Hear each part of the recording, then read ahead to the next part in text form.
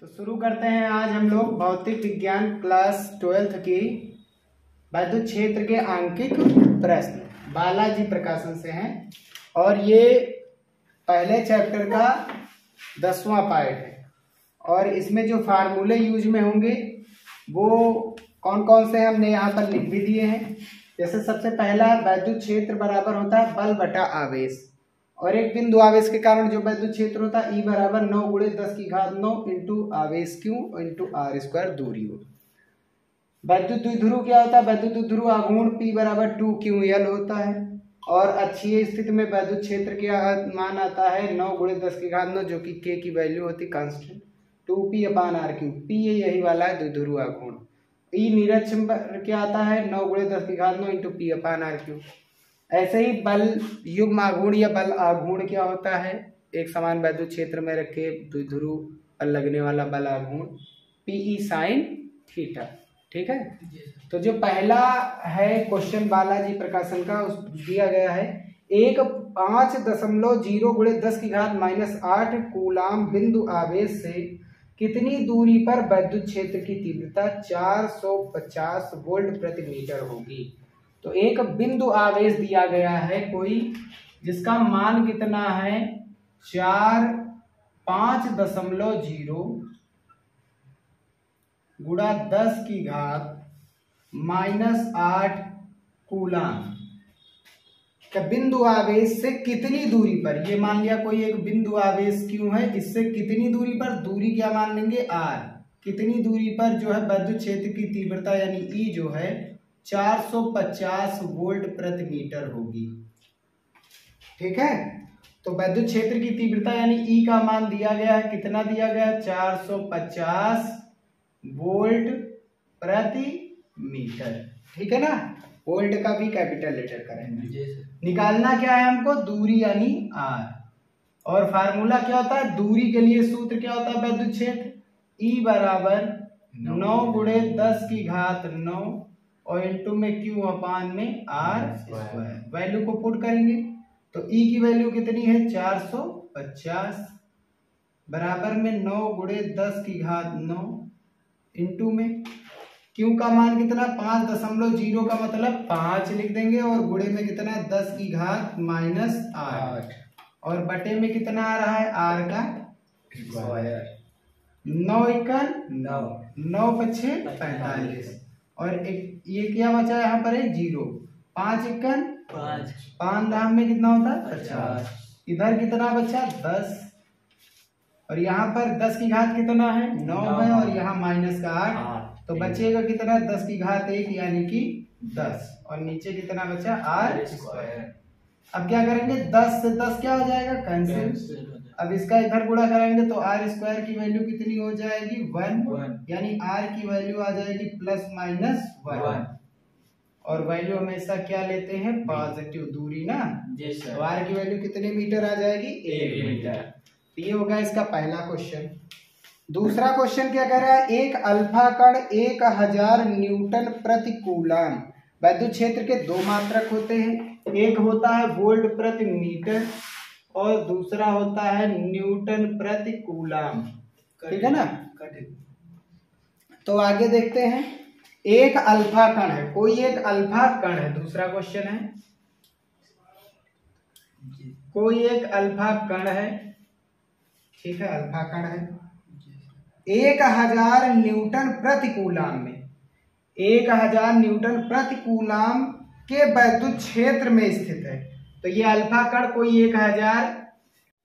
तो आगे क्या है? जब भी कोई आवेशित कण किसी वैद्युत क्षेत्र में आता है तो उस पर एक बल लगता है। अब क्योंकि हमको पता है कि जो अल्फ़ा कण होता है, उसके ऊपर दो इलेक्ट्रॉन के बराबर धनावेश होता है। अल्फ़ा कण पर दो इलेक्ट्रॉन के बराबर क्या होता है? धनावेश, यानी क्यू बराबर कितना हो गया? आवेश कितना है इसके पास? दो इलेक्ट्रॉन के बराबर अल्फ़ा कण पर धनावेश ही होता है। जी सर। तो आगे हमने सूत्र पढ़ा था E is equals to F upon Q हमको बल का मान निकालना है तो क्यू को उधर लेकर के जाएँगे तो F इज़ इक्वल्स टू कितना हो जाएगा? ई क्यू वैद्युत क्षेत्र का मान कितने हज़ार दिया गया है? एक हज़ार। और क्यू का मान कितना दिया गया है? टू ई का मान कितना होता है? एक दशमलव छह गुड़े दस की घात माइनस उन्नीस। या हम डायरेक्ट रख सकते हैं तीन दशमलव दो गुड़े दस की घात माइनस उन्नीस कूलाम अल्फ़ा कण पर आवेश। हल करेंगे इसे तो सोलह दुना कितना होता है? बत्तीस तीन दशमलव दो। एक हज़ार को हम लिख सकते हैं दस की घात तीन। प्लस का ना? तो तीन ज़ीरो प्लस के और उन्नीस ज़ीरो माइनस के। तो बचेगा कितना? माइनस का सोलह। और ये क्या निकल के आया है? बल। और बल का मात्रक क्या होता है? बल का मात्रक होता है न्यूटन। तो इसका मात्रक हो गया न्यूटन और यही क्या बन जाएगा इसका? आंसर तो नेक्स्ट क्वेश्चन देखते हैं। तो इसमें क्या कह रहा है? पाँच गुड़े दस की घात माइनस चार कुलाम आवेश पर दो दशमलव दो पाँच न्यूटन का बल कार्य करता है उस पर उस बिंदु पर वैद्युत क्षेत्र की तीव्रता की गणना कीजिए या ज्ञात कीजिए। तो तीसरे नंबर में आवेश कितना दिया गया है? क्यों का मान? पाँच गुड़े दस की घात माइनस चार कूलाम और साथ ही साथ बल का मान दिया गया है दो दशमलव दो पाँच न्यूटन। हमको वैद्युत क्षेत्र की तीव्रता निकालनी यानी E बराबर सूत्र क्या पढ़ा है? F और Q दिया जाएगा तो F अपान Q F की वैल्यू दो दशमलव दो पाँच क्यू की वैल्यू पाँच गुड़े दस की घात माइनस चार। दशमलव हटाएँगे तो कितने ज़ीरो नीचे बढ़ेंगे? दो दो। दो ज़ीरो बढ़ेंगे। अब माइनस का चार नीचे प्लस में ऊपर जाएगा तो? नीचे माइनस और ऊपर जाएगा तो प्लस। दो सौ पच्चीस गुड़े दस की घात हो गया चार और नीचे कितना हो गया पाँच सौ। कैंसिल करेंगे तो कितना हो जाएगा?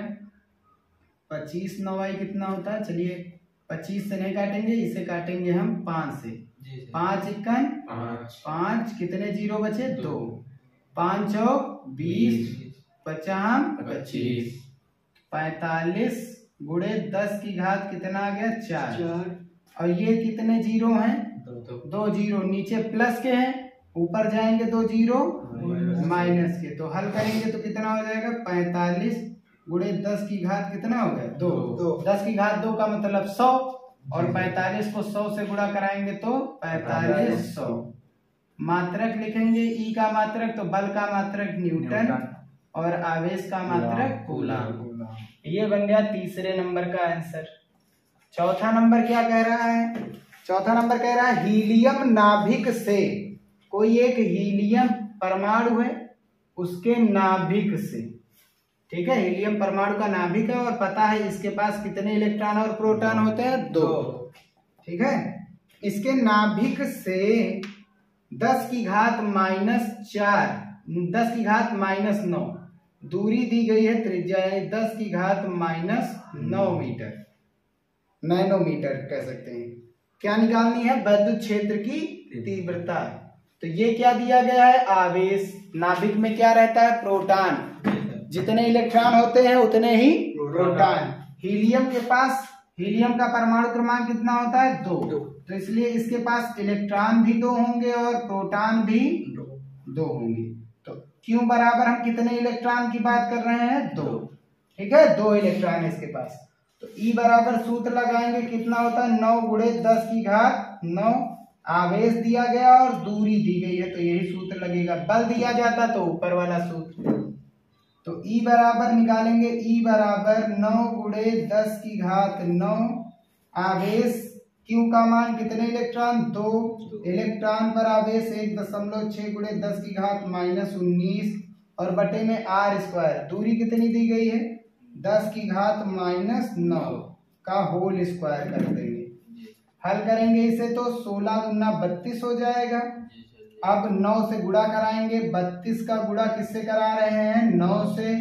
तो दो नवा अठारह और नौ त्रिक सत्ताईस और एक अट्ठाईस। कितनी संख्या आ गई दशमलव? एक।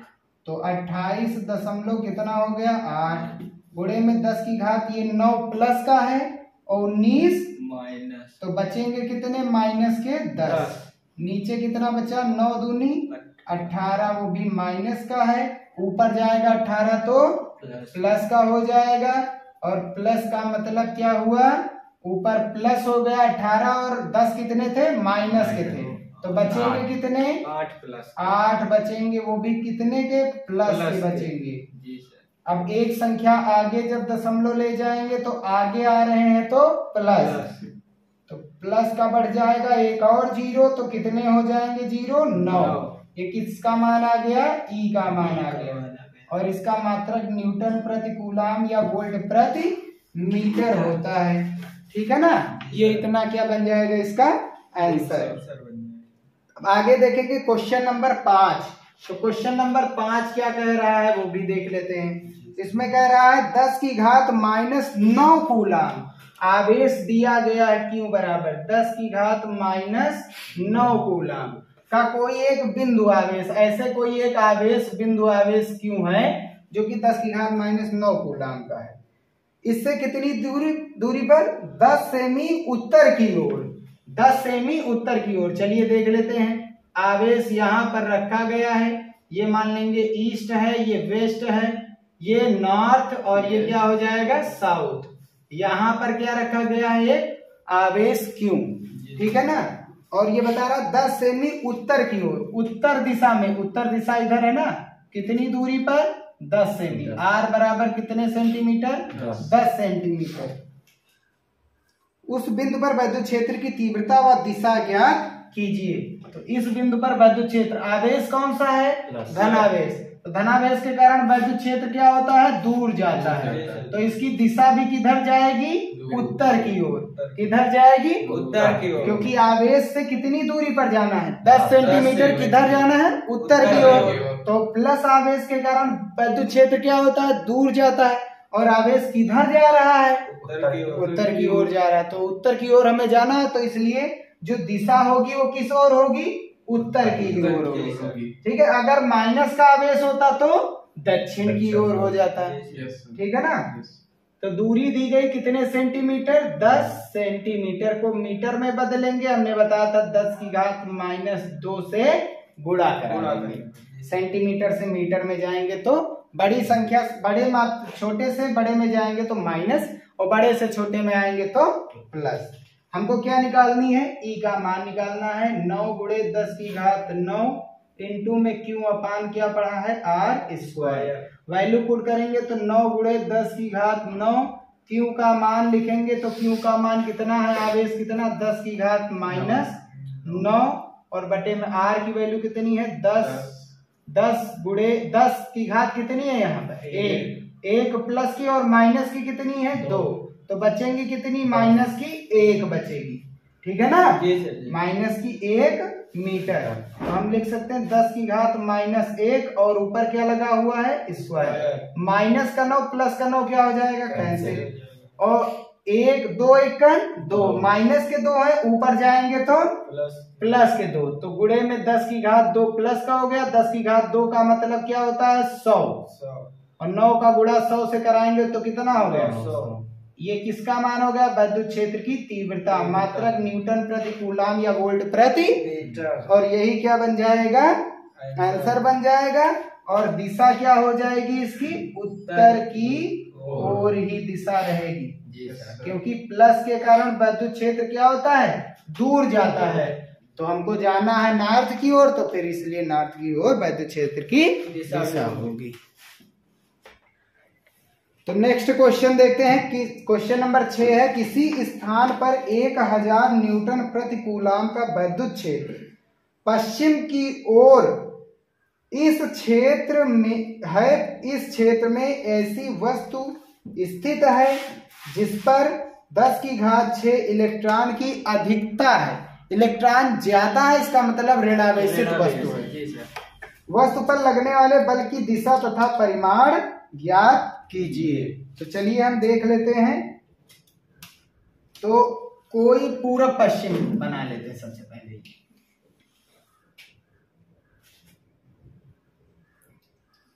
तो ये हो गया पूरब ईस्ट वेस्ट और ये बन गया हमारा नॉर्थ। नॉर्थ और ये हो गया साउथ। साउथ। ठीक है ना? अगर इसे ईस्ट दे रहे हैं इसे वेस्ट इधर इसे नॉर्थ इसे साउथ कह सकते हैं। चाहे जैसे कहो। ठीक है?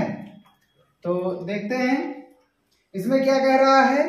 किसी स्थान पर 10 की घात एक हज़ार न्यूटन प्रतिकूलाम का वैद्युत क्षेत्र पश्चिम की ओर है। तो पश्चिम की ओर मान लेंगे कोई एक स्थान है यहाँ पर है। यहाँ पर वैद्युत क्षेत्र इस ओर पश्चिम की ओर जा रहा है। यहाँ पर वैद्युत क्षेत्र कितना है?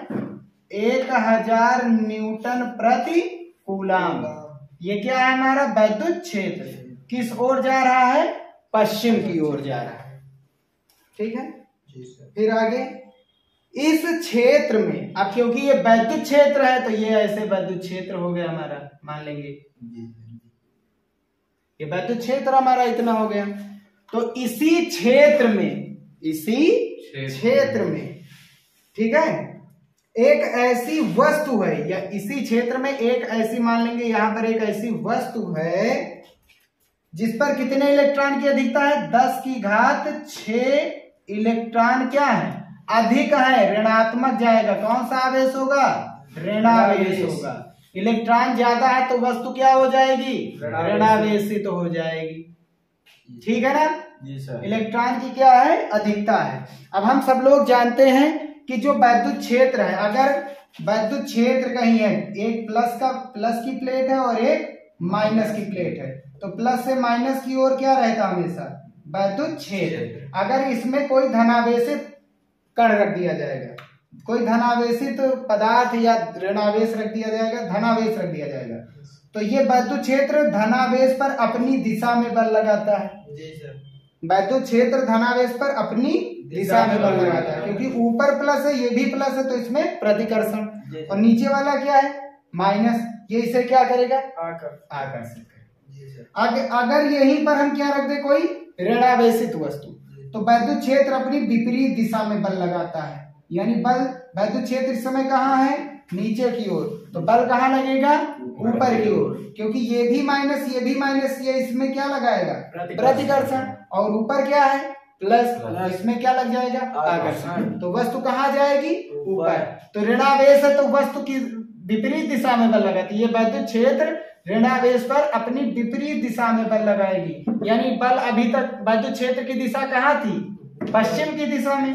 तो बल किधर लगेगा? पूरब की दिशा पूर्व दिशा में। तो जो बल लगेगा जो आवेशित वस्तु है उस पर जो बल लगेगा वो किधर लगेगा? पूर्व पूर्व दिशा में। कितना लगेगा वो देख लेते हैं तो F बराबर सूत्र पड़ा है E इंटू क्यू और Q बराबर क्या पढ़ा गया है? Q बराबर पढ़ा गया N इंटू ई ठीक है? या डायरेक्ट हम वैल्यू रख देंगे कोई बात नहीं। E का मान वैद्युत क्षेत्र की तीव्रता एक हज़ार। आवेश कितना है? दस की घात छ इलेक्ट्रॉन का आवेश है। अधिक है ना? तो Q बराबर एन इलेक्ट्रॉनों की संख्या कितनी दी गई? दस की घात छ। Q बराबर एन ई सूत्र लगाएँगे तो दस की घात छ ई हो गया क्या?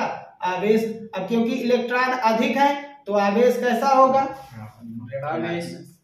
और हम हमेशा परिमाण लेकर के चलते हैं ना? जी सर। माइनस प्लस दिशा बताता है। ई की वैल्यू अब यहाँ पर कितने हो गए? एक दो तीन। तीन। ज़ीरो यहाँ छह ज़ीरो यहाँ। टोटल कितने ज़ीरो हो गए? नौ ई का मान एक दशमलव छह गुड़े दस की घात माइनस उन्नीस। हल करेंगे तो उन्नीस माइनस का नौ प्लस का बचेगा कितना? दस। दस बचेगा। दस की घात माइनस दस। किसकी वैल्यू आ गई? बल की वैल्यू आ गई। और बल का मात्रक क्या होता है? न्यूटन। होता है। और दिशा इसकी क्या होगी? पूर्व की और ओर। ठीक है ना? ये इसका क्या बन जाएगा? आंसर ठीक है? अब नेक्स्ट क्वेश्चन नंबर सेवन देखते हैं। तो क्वेश्चन नंबर सेवन है, पाँच गुड़े दस की घात माइनस उन्नीस कूलाम तथा बीस गुड़े दस की घात माइनस उन्नीस कूलाम के दो बिंदु आवेश परस्पर दो मीटर की दूरी पर है। तो दो बिंदु आवेश हैं। एक मान लेंगे Q1 है। और इसी से कितने मीटर दूरी पर? दो मीटर। दो मीटर की दूरी पर एक दूसरा आवेश है। पहले आवेश पर पाँच गुड़े दस की घात माइनस उन्नीस पहला आवेश है। इतने कूलाम का आवेश है पहले वाले और दूसरे वाले पर बीस है ना? बीस गुड़े दस की घात माइनस उन्नीस कूलाम का आवेश है। जी सर। और इन दोनों के बीच की जो दूरी है दो मीटर। कितने मीटर है? दो मीटर। दो मीटर ऐसे लिख दे रहे अब आगे। उनको मिलाने वाली यानी दोनों आवेशों को मिलाने वाली रेखा के किस बिंदु पर वैद्युत क्षेत्र शून्य होगा? यदि इस बिंदु पर आवेश एक क्यों रखें आवेश जो है क्यों रखें तो इस पर कितना बल लगेगा? तो इन दोनों को मिलाने वाली रेखा के किस बिंदु पर जो है वैद्युत क्षेत्र का मान शून्य होगा? मान लेंगे वो बिंदु ये है। और इस बिंदु का नाम क्या है? पी पी और यहाँ पर जो वैद्युत क्षेत्र है उसका मान कितना है? ज़ीरो। ठीक है ना? जी सर। तो थोड़ा सा समझेंगे इसे। बस। ये भी अपने आप में कौन सा आवेश है? धनावेश। ये भी अपने आप में कौन सा आवेश है? धनावेश। और इस बिंदु पर परिणामी तीव्रता कितनी है? ज़ीरो। तो पहला आवेश धनावेश धनावेश के कारण बिंदु पी पर जो वैद्युत क्षेत्र उत्पन्न होगा वो इससे क्या जाएगा? दूर जाएगा। मान लेंगे Q1 के कारण वैद्युत क्षेत्र कितना आया? E1 अब ऐसे ही आवेश Q2 भी धनावेश है तो धनावेश के कारण ये जो अपना यहाँ पर वैद्युत क्षेत्र उत्पन्न करेगा वो भी क्या होगा इससे? दूर जाएगा। और ये क्या हो गया? अब ध्यान से देखेंगे जो कौन ज़्यादा है कौन कम ये हमें पता नहीं। नहीं है।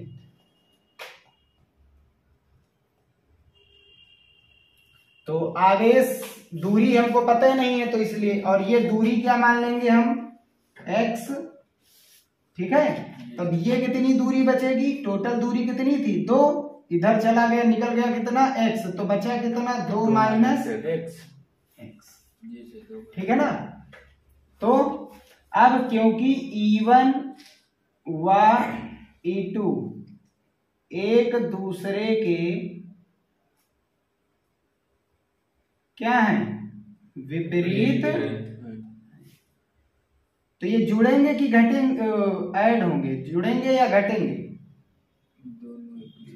दूर है। ये भी इधर जा रहा है ये उधर जा रहा है। दिशा अलग अलग है तो घटेंगे। घटेंगे। तो E इज़ इक्वल्स टू क्या हो जाएगा? E one minus E two अब क्योंकि E बराबर हमने क्या पढ़ा है? ज़ीरो परिणामी तीव्रता क्या है? ज़ीरो बिंदु P पर जो वैद्युत क्षेत्र है वो कितना है? ज़ीरो तो ज़ीरो इज़ इक्वल्स टू करेंगे तो E one minus E two अब ई टू को इधर लाएँगे तो ई वन जो है वो किसके बराबर हो जाएगा? ई टू के बराबर हो जाएगा। तो ई वन किसके बराबर हो गया? ई टू के बराबर हो गया। ठीक है ना? जी सर। एकदम क्लियर बात? जी सर। चलिए E1 की बात समझ लेते हैं क्योंकि हमने पढ़ा है कोई एक आवेश जो होता है वो अपने से R दूरी पर कितना वैद्युत क्षेत्र उत्पन्न करता है? के क्यू अपान आर स्क्वायर तो वैसे ही ये आवेश Q1 जो है अपने से कितनी दूरी पर? X दूरी पर। यानी बिंदु P पर। कितना वैद्युत क्षेत्र उत्पन्न करेगा? E1 one is equals to K आवेश कौन सा है? Q1 और बटे दूरी कितनी है? एक्स का स्क्वायर ऐसे ही E2 की बात करेंगे तो आवेश अकेला आवेश कितना वैद्युत क्षेत्र उत्पन्न करता है? K इंटू आवेश कौन सा है? Q2 दोनों के बीच की दूरी कहाँ पर उत्पन्न कर? रहा है कितनी दूरी पर? दो माइनस एक्स का होल स्क्वायर होल से K कैंसिल Q1 की वैल्यू पुट करेंगे तो कितनी है? पाँच गुड़े दस की घात माइनस बटे में एक्स स्क्वायर क्यू टू का मान कितना है? बीस गुड़े दस की घात माइनस उन्नीस। और बटे में कितना? दो माइनस एक्स का। होल स्क्वायर दस की घात माइनस उन्नीस से दस की घात माइनस उन्नीस कैंसिल पाँच इक्कन पाँच पाँच चौक बीस। बीस। अब क्या करेंगे? इन दोनों को मल्टीप्लाई करा देंगे। क्रॉस मल्टीप्लीकेशन कराएँगे। तो क्या हो जाएगा? इधर देख लेते हैं। तो एक्स स्क्वायर का चार से गुणा कराएँगे तो चार एक्स स्क्वायर हो जाएगा और ये ऊपर जा करके कितना? दो माइनस एक्स का होल स्क्वायर अब क्या करेंगे? दोनों ओर से यहाँ पर इसे लिख सकते हैं टू एक्स का। होल स्क्वायर और इधर क्या लिख सकते हैं? टू माइनस एक्स का। होल स्क्वायर इधर से स्क्वायर हटाएँगे इधर क्या लग जाएगा? और साथ ही साथ प्लस प्लस माइनस तो इधर कितना बचा? Two X is equal to plus minus root हटाएँगे तो स्क्वायर हट जाएगा। बचेगा कितना? दो माइनस एक्स एक बार क्या करेंगे? पॉजिटिव साइन लेंगे। और एक बार क्या करेंगे? Negative sign. लेंगे। तो यहाँ पर पॉजिटिव साइन लिया गया है तो ये पॉजिटिव वाला आ जाएगा। तो कितना बचा? टू। और अंदर में क्या है? माइनस का साथ में एक्स है। एक्स वाला इधर माइनस है उधर जाएगा तो प्लस में। तो टू एक्स है एक्स इधर एक और आ गया। तो कितने एक्स हो गए? तीन एक्स बराबर दो। दो। तो एक्स बराबर करेंगे तो दो बटा तीन। दो बटा तीन मीटर आ गया। यानी कि पाँच गुड़े दस की घात माइनस उन्नीस गुलाम आवेश से बिंदु पी की जो दूरी है यानी एक्स वो कितनी है? दो बटा तीन मीटर। है।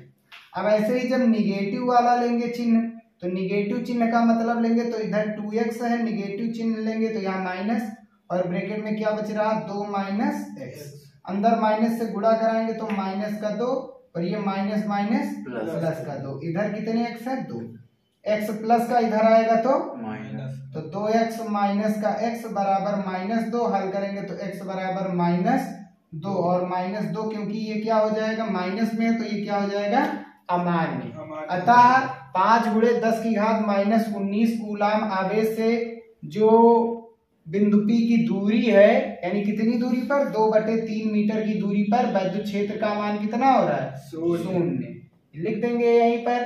अतः पाँच गुड़े दस की घात माइनस उन्नीस कूलाम वाले आवेश से दो बटा तीन मीटर की दूरी पर वैद्युत क्षेत्र का मान, या वैद्युत क्षेत्र की तीव्रता शून्य होगी। यही क्या बन जाएगा इसका? आंसर तो सेकेंड केस में क्या कह रहा है? यदि इसी बिंदु पर हम क्या रख दे? कोई एक आवेश क्यू रख दे। तो ये है आवेश Q1 ये है आवेश Q2 और यहाँ पर कोई एक बिंदु P है, और यहाँ वैद्युत क्षेत्र क्या था? ज़ीरो। अब इसी बिंदु पर एक आवेश क्यू रखेंगे तो उस पर बल कितना लगेगा? तो यहाँ पर वैद्युत क्षेत्र कितना है सबसे पहले वो देखेंगे। तो सूत्र क्या लगेगा? बल बराबर क्या पड़ा है? ई इंटू क्यू तो इस पर जो बल लगेगा एफ़ बराबर ई क्यू यहाँ वैद्युत क्षेत्र है।